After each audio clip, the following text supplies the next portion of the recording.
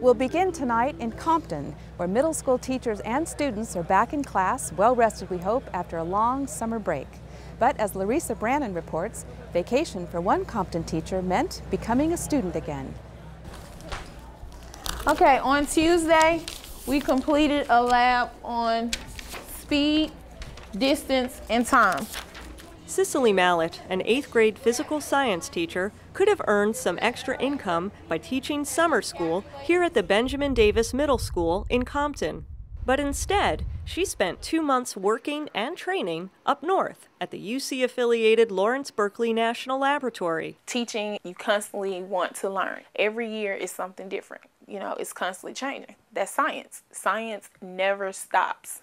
The U.S. Department of Energy funds summer programs at 14 national labs, which are designed to turn middle and high school teachers into scientists by providing them with hands-on research experience that they can take back to the classroom.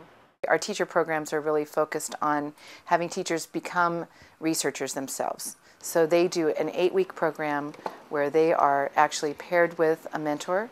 They do a project uh, that's actually doing research and then we have weekly meetings that help them to transfer that experience to the classroom. My approach as a mentor is to craft a uh, research experience for each teacher that's tailored to what they're interested in and the skill level that they bring to the lab.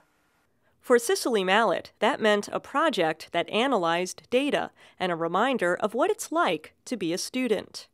Trying to get the measurements just right, I was like, really like i had to keep doing it over and over and over again. But other than that i kind of felt how my students were feeling like no do it again do it again do it again yeah so. And her time in the lab has affected how she teaches in the classroom. Hop right? What was my two seconds okay? Here we're calculating speed. So everyone knew that my distance was what?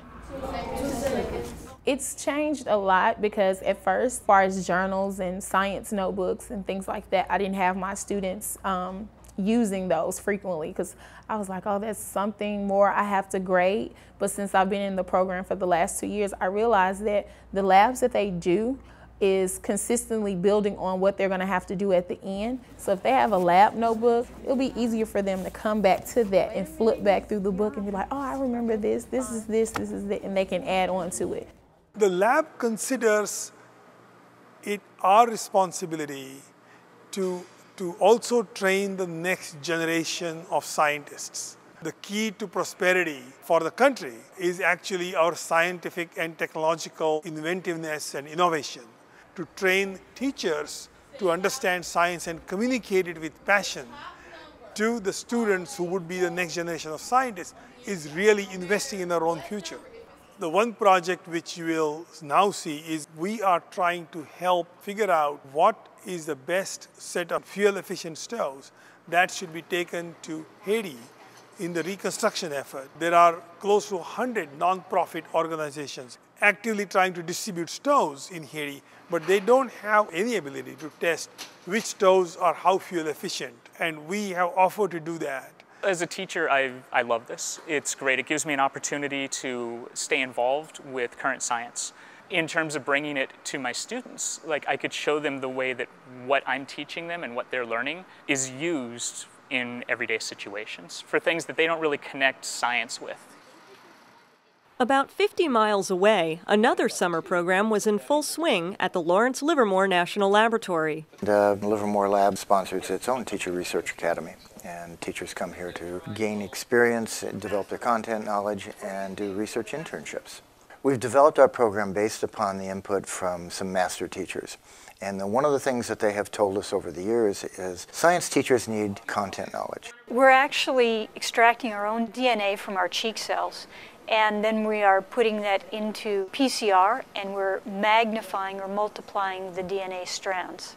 I think our students are interested in things that um, relate to them, that they can say, hey, that's my DNA, and I want to know what's going on. They can understand how they saw it on CSI on TV, then it's relevant to them. Before entering into this internship, I had never actually had a real scientific research experience. I got to conduct science and bring that experience back to my classroom as a science teacher that actually does science, which I think means a lot um, to the kids.